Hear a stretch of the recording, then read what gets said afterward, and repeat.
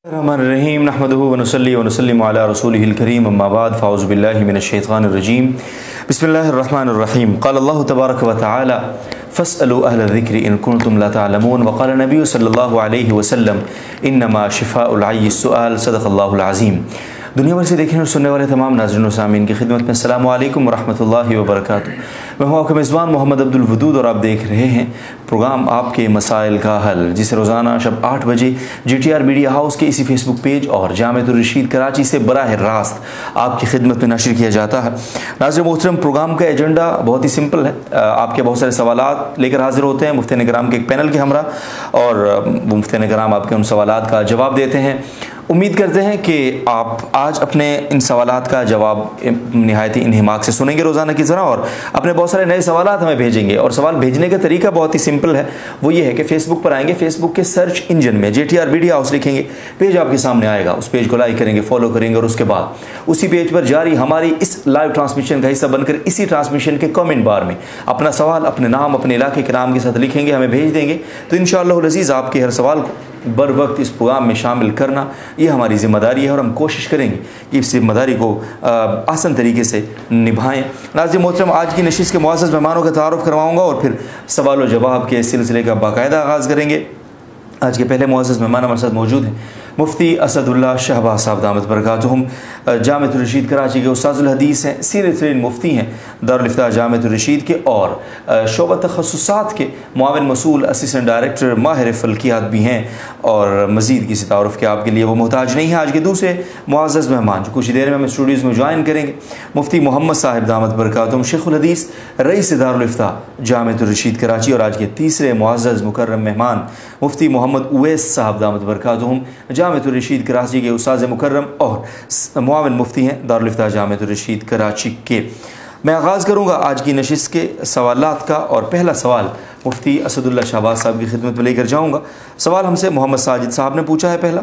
مصب وہ یہ پوچھتے ہیں، منت مانی کہ جاب ہو گئی تو آدھے پیسے صدقہ کروں گا۔ اب کیا یہ پیسے والدین یا سسرالی رشتہ داروں کو دیے جا سکتے ہیں یا کسی اور کو دینا ضرور بسم اللہ الرحمن الرحیم۔ دیکھیں جب منت مان لی جاتی ہے اور کہ میں یہ کام ہو گیا تو اتنے پیسے صدقہ کروں گا یا جو بھی چیز انہوں نے منت کے طور پہ مانی ہے تو وہ پھر صدقہ واجبہ کہلاتا ہے۔ صحیح۔ اور صدقہ واجبہ کا حکم یہ ہوتا ہے کہ وہ نہ تو خود استعمال کر سکتا ہے نہ اپنے اصول اور فلو کو فرو کو کھلا سکتا ہے۔ صحیح۔ بلکہ وہ کسی محتاج کو جو مسکین ہو اس کو کھلایا جا سکتا ہے۔ تو جو سسرالی رشتہ دار ہیں ان سسرالی رشتہ داروں میں سے ساس سسر یا بیوی کے بھائی وغیرہ یا ان کے کوئی رشتہ دار ہیں ان کو تو دے سکتے ہیں۔ بشرطے کہ وہ مستحق ہوں یعنی وہ صاحب نصاب نہ ہوں پھر ان کو دے سکتا ہے۔ والدین کو بہرحال نہیں دے سکتا ہے۔ ٹھیک۔ بہت بہت شکریہ والدین کو بہرحال نہیں دے سکتے ہیں۔ محمد اللہ صاحب لاہور سے پوچھتے ہیں کیا منگنی کے بعد لڑکا لڑکی ایس ایم ایس پر بات کر سکتے ہیں ایک دوسرے کو سمجھنے کے لیے؟ نہیں جی یہ جو منگنی ہوتی ہے اس میں کوئی نکاح وغیرہ تو ہوتا نہیں ہے۔ جی۔ تو لہذا اس میں لڑکا لڑکی جیسے عام اجنبی عورت مرد ہوتے ہیں اسی طرح یہ اجنبی ہوتے ہیں۔ لہذا یہ جو بہانہ بنایا جاتا ہے ایک دوسرے کو سمجھنے کے لیے ہم بات کر لیں تو یہ سمجھنا بسا اوقات مہنگا پڑ جاتا ہے۔ بہت سارے شکوک شبہات پیدا ہو جاتے ہیں خصوصاً ہمارا جو مشرقی معاشرہ ہے اس مشرقی معاشرے میں اس کو بہت برا سمجھا جاتا ہے کہ نکاح سے پہلے یا رخصتی سے پہلے لڑکا اور لڑکی آپس میں ملیں یا بات چیت کریں۔ تو لہذا اس سے بالکل قطن اس کی اجازت نہیں ہے نہیں ملنا چاہیے، نہیں آپس میں بات کرنی چاہیے۔ اور بہت سارے فتنے اور فساد اس سے پیدا ہوتے ہیں، جنم لیتے ہیں۔ لہذا اس سے پرہیز کرنا ضروری ہے۔ جزاکم اللہ بہت بہت شکریہ۔ محمد غفران عباسی صاحب پوچھتے ہیں بچیوں کے والد کا انتقال ہو گیا ہے اور والدہ نے دوسرا نکاح کر لیا ہے۔ کیا دادا کے ذمہ اپنی پوتیوں کا خرچ اٹھانا ہے یا نہیں؟ جی ہاں جب والد صاحب کا انتقال ہو گیا اور والدہ نے دوسری جگہ نکاح بھی کر لیا ہے تو یہ بچیوں کو دادا ہی سنبھالیں گے اور پورا خرچہ انہی کے ذمہ ہوگا۔ اگر بچیوں کا اپنا مال نہیں ہے بس اوقات بچیوں کا اپنا مال ہوتا ہے تو اگر اپنا مال ہے تو خرچہ ان کا اپنے مال میں سے ہوگا لیکن اپنا مال نہیں ہے تو ان کی پرورش دادا کے ذمہ ہے۔ دادا ہی پرورش کریں گے اور وہی ان کو سنبھالیں گے۔ بہت بہت شکریہ مفتی محمد صاحب تشریف لے آئے ہیں پروگرام۔ میں ان کی خدمت میں سوال ہے محمد نیاز صاحب کا سعودی عربیہ سے۔ سننے میں آیا ہے کہ جو آدمی اذان دیتا ہے تلاوت کرتا ہے اس کی آواز جو چیز سنتی ہے مثلا درخت پہاڑ وغیرہ وہ سب چیزیں اس کے لیے آخرت میں گواہی دیں گی۔ کیا یہ حقیقت ہے؟ نیز کیا کسی بری آواز کی بھی یہی صورت ہوگی؟ بسم اللہ الرحمن الرحیم، نحمدہ و علی رسول الکریم۔ یہ بات درست ہے کہ کوئی بھی نیک عمل کیا جائے تو اس نیک عمل کا اثر جہاں تک پہنچتا ہے اور ساری مخلوق اس کے لیے گواہ بن جاتی ہے، چاہے وہ اچھا عمل ہو یا برا عمل ہو۔ اور خاص طور سے اذان کے بارے میں حدیث میں صراحت ہے، صحیح حدیث ہے، اذا کنتا فی غنمک او فی بادیتک جب آپ اپنی بکریاں چلا رہے ہوں یا صحرا میں کسی جگہ موجود ہوں فعدن تب اور نماز کے لیے آپ اذان دیں۔ تو فرمایا کہ جو بھی مخلوق ہے، جن او انسن او شیئن جو بھی مخلوق جس تک وہ آواز پہنچتی ہے، تو وہ سارے شہید لہو یوم القیامہ، شہید اللہ کا یوم القیامہ، وہ آپ کے لیے قیامت کے دن گواہی دیں گے۔ تو اس پر قیاس کر کے ہم دوسرے اعمال کے بارے میں بھی یہ کہہ سکتے ہیں اور اسی طرح برائی کے بارے میں بھی کہہ سکتے ہیں کہ جیسے نیک عمل کے لیے لو وہ چیزیں گواہ بنتی ہیں اور وہ قیامت کے دن اس کے حق میں گواہی دیں گی، تو اسی طریقے سے برا عمل ہوگا تو اس کے خلاف وہ بھی گواہ بنیں گے۔ صحیح۔ بہت بہت شکریہ۔ بنت عزیر احمد صاحب، انڈیا سے پوچھتی ہیں، کیا اس کی کوئی حقیقت ہے کہ اگر کسی کو ڈراؤنے خواب آئیں تو صبح اٹھ کر غریبوں میں صدقہ خیرات کرے جی۔ حدیث میں تو اس کا ذکر نہیں ہے۔ حدیث میں تو یہ آتا ہے کہ جب آپ کو کوئی برا خواب نظر آئے کوئی ڈراؤنا خواب نظر آئے تو کوئی بھی شر کی چیز آپ خواب میں دیکھیں تو اس کے لیے ہدایت یہ ہے کہ ایک تو یہ کریں فل یکم ولیوسلی اسے چاہیے کہ وہ اٹھے اور نماز پڑھے۔ دوسری روایت میں یہ آتا ہے کہ وہ جب اسے ڈراؤنا خواب آئے تو جب وہ جاگے تو فل ینفس ان یساری ہی ثلاث مرہ یا ثلاث مرات۔ جب جاگے تو وہ بائیں طرف تین مرتبہ تھتکار دے تھو تھو تھو۔ تھوک نکالنا ضروری نہیں ہے تھو تھو کرنا کافی ہے۔ اور فل یستعید باللہ من شرحا اللہ تعالیٰ سے اس خواب کے شر سے پناہ مانگے۔ تو یہ ہدایات حدیث میں صراحتاً مذکور ہیں۔ باقی دوسری روایت میں چونکہ یہ بھی آتا ہے کہ صدقت تطفی البلا کہ کوئی بھی مصیبت آئی ہوئی ہو تو صدقہ اس کو ٹال دیتا ہے۔ تو اگر اس برے خواب سے کسی نقصان کا اندیشہ ہے تو صدقہ کرنے سے اس شر سے حفاظت ہوگی اور صدقہ کرنے میں کوئی ممانت نہیں ہے لیکن حدیث میں برے خواب کے ساتھ صدقہ کا ذکر نہیں ہے بلکہ ان اعمال کا ذکر ہے۔ اور ایک بات اور حدیث میں ذکر کی گئی ہے کہ وہ خواب کسی کے سامنے بیان نہ کرے۔ ٹھیک ہے۔ جب اس نے تعوض بھی کر لیا اور اللہ تعالیٰ سے دعا بھی مانگ لی اس سے شر اس کے شر سے حفاظت کی تو اب اس کو یہ خواب اگر وہ کسی سے بیان نہ کرے تو کوئی نقصان نہیں پہنچائے گا۔ ٹھیک ہے بہت بہت شکریہ۔ بنت آدم صاحب انڈیا سے پوچھتی ہیں نماز کی حالت میں اگر آواز سے ہنسی آ جائے تو کیا نماز ٹوٹ جائے گی؟ نماز میں دل لگانے کا طریقہ بھی بتا دیں۔ نماز میں دل لگانے کا طریقہ تو اس سے پہلے کئی دفعہ بیان کیا جا چکا ہے۔ اگر ریٹ آر والے اس کلپ کا حوالہ دے دیں ان کو تو ان کو آسانی ہو جائے گی۔ باقی نماز کی حالت میں اگر آواز اتنی نکل آئے کہ دائیں بائیں کے لوگ بھی اسے سن لیں تو اس سے وضو بھی ٹوٹ جاتا ہے نماز بھی ٹوٹ جاتی ہے۔ ٹھیک۔ بہت بہت شکریہ مفتی اسد اللہ شہباز صاحب۔ آپ کی خدمت میں سوال ہے بنت سلیم صاحبہ کراچی سے پوچھتی ہیں۔ کیا زناب الجبر کے بعد عورت اس کا عمل کر سکتی؟ جی اگر بچے کے اندر روح نہیں پڑی ہے اور تقریباً چار مہینے سے پہلے پہلے اگر اسکات کرنا چاہتی ہے تو کر دے۔ اور لیکن اگر بچے میں روح پڑ گئی ہے ڈاکٹروں آج کل پتہ چل جاتا ہے الٹرا ساؤنڈ وغیرہ کرانے سے تو پھر اس کو اسکات نہیں کرنا چاہیے۔ اور وہ پھر اسی طرح بچہ پیدا ہو جائے اس کا جیسے عام حق ہے زندہ رہنے کا اس کا بھی زندہ رہنے کا حق ہے۔ جی ٹھیک ہے بہت بہت شکریہ۔ محمد اسد اللہ صاحب سرگودہ سے پوچھتے ہیں تاش کھیلنے کی اجازت ہے؟ دیکھیں تاش دو طرح کی ہوتی ہے دو طرح کھیلے جاتی ہیں۔ بعض بسا اوقات تو یہ ہوتا ہے کہ تاش میں باقاعدہ شرط لگائی جاتی ہے جی۔ کہ اگر فلاں جو جیت گیا تو وہ اتنے پیسے سارے لے لے گا یا مختلف صورتیں اس سے ہوتی ہیں یعنی وہ باقاعدہ جوا ہوتا ہے۔ تو اس کی تو قطن ممانت ہے اور حرام ہے ناجائز ہے۔ دوسرا کبھی کبھی تاش اس طرح کھیلتے ہیں کہ اگر جو اس پہ شرط نہیں ہوتی پیسے نہیں ہوتے لیکن چار چند ساتھی بیٹھ جاتے ہیں اور کھیلنا شروع کر دیتے ہیں اور کھیلتے ہی رہتے ہیں۔ تو یہ تاش ایک لہو لعب کی چیز ہے۔ اور اس کی وجہ سے آدمی اتنا مصروف ہو جاتا ہے تو بسا اوقات فرائض اور واجبات وہ بھی چھوٹ جاتے ہیں۔ تو ایسے کسی لہب لہو کی چیز کے اندر ایسی کھیل کود کے اندر ایسا مصروف ہو جانا کہ جس کی وجہ سے فرائض اور واجبات یہ بھی چھوٹنے لگ جائیں یہ بھی جائز نہیں ہے جیسے اس سے بھی بچنا چاہیے۔ اور ہوتا یہی ہے عموماً ہم نے دیکھا ہے کہ جو لوگ تاش کھیلتے ہیں ان کو ایسا نشہ ہوتا ہے کہ آ کے جا کے صبح سویرے وہاں بیٹھ جاتے ہیں اور گھنٹوں وہاں بیٹھے رہتے ہیں اور کوئی دوسرا کام نہیں ہوتا وہ محض بس اسی تاش کو کھیلتے رہتے ہیں صبح سے لے کر شام تک۔ تو اس میں وقت کا ضیاع بھی ہے اور فرائض اور واجبات چھوٹ جانے کا بھی اس کے اندر کبھی امکان ہے لہذا اس سے ہر صورت پرہیز کرنی چاہیے نہیں کھیلنا چاہیے۔ ٹھیک ہے جی بہت بہت شکریہ آپ کا۔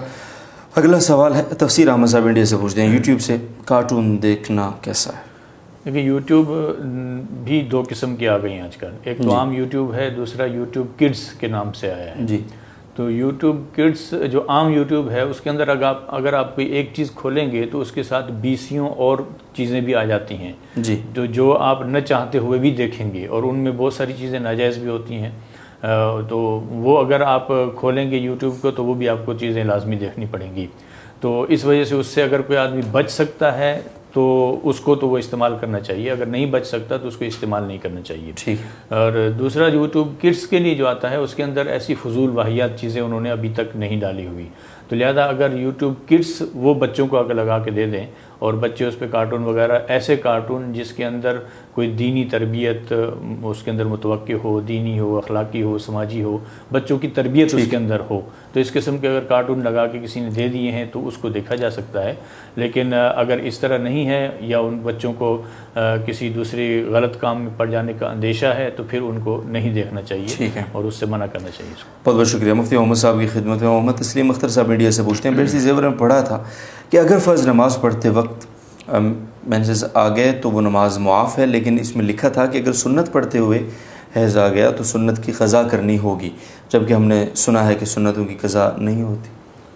ہاں جی اگر سنتیں ویسے کسی سے چھوٹ گئیں اور اس نے پڑھی ہی نہیں تو ان کی قضا نہیں ہوتی سوائے فجر کی سنتوں کے کہ اگر فرض کے ساتھ سنتیں بھی چھوٹ گئیں۔ جی۔ تو زوال سے پہلے پہلے وہ سنتوں کی قضا بھی کرے گا اور فرائض کی قضا بھی کرے گا۔ بعض حضرات نے صرف سنتیں چھوٹنے کی صورت میں بھی زوال سے پہلے پہلے فجر کی سنتوں کی قضا کا قول کیا، اس لیے کہ فجر کی سنتیں بہت موقع ہیں، قریب با واجب۔ لیکن باقی نمازوں کی سنتیں اگر رہ گئیں تو ان کی قضا نہیں ہے۔ لیکن جو مسئلہ بیشتی زیور میں لکھا ہے وہ اپنی جگہ درست ہے۔ صحیح۔ کہ سنتوں کے دوران اگر کسی کو حیض آ گیا تو چونکہ وہ سنتیں شروع کر چکا تھا جی، تو جی۔ سنت اور نفل کا حکم ایک ہی ہوتا ہے اور وہ شروع کرنے سے واجب ہو جاتی ہے۔ تو اس لیے اگر کسی کو اس طرح کا مسئلہ پیش آیا ہے تو اس پر ان سنتوں کی قضا لازم ہے۔ البتہ اتنی بات ہے کہ اگر دو رکت پوری ہونے سے پہلے پہلے آیا ہے تو صرف دو رکت ہی کی قضا لازم ہے چونکہ چار رکت کی نماز کی نیت باندھنے کے بعد بھی وہ دو رکت ہی لازم ہوتی ہیں۔ صحیح۔ اور اگر کسی کو دو رکت مکمل ہونے کے بعد تیسری رکت میں یا چوتھی رکت میں یہ مسئلہ پیش آیا تو ایسی صورت میں بھی دو ہی رکت لازم ہوگی جو کہ پہلی دو وہ مکمل کر چکا تھا۔ بہت شکریہ۔ محمد انس صاحب جی۔ محمد انس صاحب گجرات سے پوچھتے ہیں ایک مسجد میں ایک مرتبہ جماعت ہو چکی ہو تو دوسری مرتبہ وہاں جماعت کے ساتھ نماز کیوں نہیں پڑھ سکتے؟ اس لیے نہیں پڑھ سکتے کہ اگر اس طریقے سے اجازت دی جائے کہ جب جس کا دل چاہے تو دو چار آدمی مل کر دوسری جماعت کروا لیا کریں تیسری جماعت کروا لیا کریں۔ تو اس سے جو جماعت سے نماز پڑھنے کی حکمت ہے وہ فوت ہوتی ہے۔ جماعت سے نماز پڑھنے کی حکمت تو یہ ہے کہ سارے لوگ اکٹھے ہو کر نماز پڑھیں تکثیر جماعت ہو زیادہ سے زیادہ لوگ جماعت میں جمع ہوں۔ تو اگر اس طرح اجازت دی جائے کہ جب جس کا دل چاہے جو جماعت آئے آ کر نماز پڑھ لیا کرے تو پھر تو کوئی پہلی جماعت میں شریک ہونے کا اہتمام نہیں کرے گا۔ وہ سمجھے گا کہ اس کے ساتھ پڑھ لی تو بھی ٹھیک ہے بعد میں پڑھ لی تو بھی ٹھیک ہے ہمیں جماعت کا پورا پورا ثواب مل جائے گا۔ تو اس سے جو پہلی جماعت ہے اس میں تقلیل ہوگی یعنی لوگوں کی کم تعداد شریک ہوگی جو مقصد جماعت کے خلاف ہے۔ ٹھیک ہے بہت بہت شکریہ۔ عامر صاحب پوچھتے ہیں جی جو رات بھر نہ سوتا ہو وہ تہجد کی نماز کیسے پڑھے گا؟ ایک بات تو یہ پہلے سمجھ لینی چاہیے کہ جو رات بھر کو جاگ رہا ہے تو وہ کیوں جاگ رہا ہے؟ اگر تو کسی مجبوری سے جاگ رہا ہے کسی کی ڈیوٹی ہے کوئی اور ایسی مجبوری پیش آ گئی جاگ رہا ہے تکلیف ہے سو نہیں پا رہا تو وہ تو رات کے آخری پیر میں تعجد پڑھ لے تعجد کی نماز ہو جائے گی۔ لیکن اگر کوئی بلا وجہ جاگ رہا ہے فضول گپ شپ میں جاگ رہا ہے تو اسے یہ عادت چھوڑنی چاہیے۔ اس کی حدیث میں ممانت آئی ہے۔ جی۔ یہ صحت کے لیے بھی نقصان دہ ہے دین کے لیے بھی نقصان دہ ہے۔ جزاکم اللہ بہت بہت شکریہ جی۔ شفیع اللہ صاحب ڈیر اسمیل خان سے پوچھتے ہیں ہمارے علاقے میں رمضان المبارک میں افطار کے وقت مسجد کے اسپیکر پر الارم بجتا ہے جس پر لوگ روزہ افطار کرتے ہیں اور پندرہ منٹ کھانے کا وقفہ بھی ہوتا ہے۔ کیا پندرہ منٹ وقفے کے بعد اذان دے کر نماز مغرب پڑھنا ٹھیک ہے یا کوئی اور سنت طریقہ ہے تو وہ بھی بتا دیجیے۔ دیکھیں، رمضان میں اذان تو اپنے وقت پر دینی چاہیے، اس لیے کہ رسول اکرم صلی اللہ علیہ وسلم کے زمانے میں یا صحابہ اکرام کے دور میں، تابعین کے دور میں جو معمول چلا آتا رہا ہے، وہ اذان غروب کے فوراً بعد دینے کا ہی چلا آتا رہا ہے۔ اور اس کے بعد بقدر ضرورت وقفہ افطار وغیرہ کے لیے ہوتا رہا پھر نماز ہوتی رہی تو اسی پر عمل کرنا زیادہ بہتر ہے اور سنت کے زیادہ قریب ہے۔ اگر کوئی اس طرح نہ کرے اور الارم بجا کر یا سائرن بجا کر افطار کی اطلاع ہو جائے اور پندرہ منٹ کے بعد یا مناسب وقفے کے بعد وہ اذان دی جائے اور نماز پڑھی جائے تو اس کی بھی گنجائش ہے لیکن سنت کے قریب پہلا طریقہ ہی ہے۔ جی ٹھیک ہے جزاکم اللہ بہت بہت شکریہ۔ مفتی اسد اللہ شہباز صاحب عبد الحافظ عبدالخالق صاحب بیلجیم سے پوچھتے ہیں یہاں کچن میں اوون ہے اسے غیر مسلم بھی حرام گوشت روسٹ کرنے کے لیے استعمال کرتے ہیں۔ اس میں پنکھا لگا ہوا ہے ہیٹ اور پنکھے کی ہوا سے گوشت سے نکلنے والی بھاپ وغیرہ کے اثرات اوون کی اندرونی دیواروں پر لگ جاتے ہیں۔ تو کیا ہم اس اوون میں اپنا گوشت بھون سکتے ہیں؟ نہیں جس لوہے کی جالی پر گوشت رکھا جاتا ہے وہ گرم ہونے سے پاک ہو جاتی ہے یا اس کو دھو کر پاک کرنا ضروری ہوگا؟ دیکھیے یہ جو اوون ہوتا ہے خصوصاً جس میں جو طریقہ انہوں نے ذکر کیا جی۔ ہے تو اس میں مائکرو ویو یہ ہے عموماً۔ تو یہ مائکرو ویو اوون کے اندر جب چیز پک رہی ہوتی ہوتی ہے تو اس کی بھاپ سے اس کا جو آئل وغیرہ یہ اس کی دیواروں کو بھی رکھتا جی۔ ہے۔ اور جس چیز میں رکھا ہوتا ہے پلیٹ ہے یا جالی ہے اس کے اوپر بھی وہ لگتا ہے۔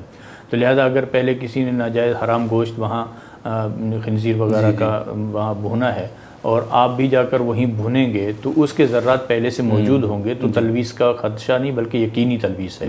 تو لہذا وہ گوشت آپ کا وہ بھی ناجائز ہو جائے نجس ہو جائے گا۔ تو وہ آپ کے لیے اس طرح کرنا جائز نہیں ہے۔ اور اگر آپ یہ چاہیں کہ ہم اس کو فقط جالی کو دھو لیا کریں اگر کیونکہ پورے اوون کو تو دھونا ممکن نہیں ہوتا جی۔ ہے فقط جالی دھو لیں جس کے اوپر گوشت رکھا ہے تب بھی اطراف سے جو چیزیں ہوتی ہیں بس اوقات آئل اوپر لگا ہوتا ہے وہ گرتا ہے۔ تو وہ بھی کیونکہ نجس چیز سے اڑ کر اوپر لگائے اور وہاں سے گرے گا تو وہ آپ کو لہذا بہرحال کسی صورت میں بھی اس کے اندر آپ اپنا حلال چیز رکھ کر بھون کر کھانا آپ کے لیے جائز نہیں جائز نہیں یا تو دوسرا اوون استعمال کریں یا پھر بغیر بھونے ویسے کچا گوشت کھائیں۔ جی بہت بہت شکریہ۔ محمد جنید صدیقی صاحب میریٹ انڈیا سے پوچھتے ہیں۔ ایک ہوٹل ہے اس میں زیادہ تر لڑکے لڑکیاں آتے ہیں اور کبھی فیملی بھی آتی ہے۔ ہوٹل میں شراب بھی ہوتی ہے لیکن نسبتاً کم ہوتی ہے۔ اس ہوٹل میں مینیجر کی جاب کرنا کیسا ہے اور اس کی کمائی کا کیا حکم؟ دیکھیں یہ جو ہوٹل ہے اولاً تو کوشش یہ کرنی چاہیے کہ کسی ایسی جگہ جاب تلاش کریں کیونکہ مینیجر کا ہی کام کرنا ہے تو کسی ایسی جگہ جاب تلاش کریں جہاں یہ کام نہ ہوتا ہو۔ جی۔ اور آج کل ایسے بہت سے ہوٹل مل جاتے ہیں غزن یہ انڈیا میں ہیں تو انڈیا میں ایسے بہت سارے مل جائیں گے ایسے جی۔ ہوٹل وغیرہ۔ لیکن اگر وہاں ایسا ہوٹل دستیاب نہیں ہے یا یہ اگر فی الحال فوری طور پہ جاب چھوڑیں گے تو ان کو مسائل ہوں گے تو یہ اس کو یہ یہاں ٹھہرے رہے۔ اور اس کا جو کام ہے وہ اپنا کرتا رہے کیونکہ یہ نہ تو شراب بیچ رہا ہے جی۔ اور نہ ہی وہ کمرے ایسے ہیں جو کہ خاص انہی لڑکے لڑکیوں کے لیے ہی بنائے ہوئے ہوں۔ تو لہٰذا اس کے جو روزی ہے یا اس کی تنخواہ ہے اس کے اندر کسی قسم کا خوبص نہیں آئے گا۔ لیکن توبہ استغفار کرتا رہنا چاہیے کیونکہ ایک گناہ یہ گویا کہ معاونت کے زمرے میں آ سکتا ہے۔ تو لہٰذا کوشش یہ کرنی چاہیے کہ کسی طرح میں یہ جاب چھوڑ کر کوئی دوسری جاب اچھی جہاں یہ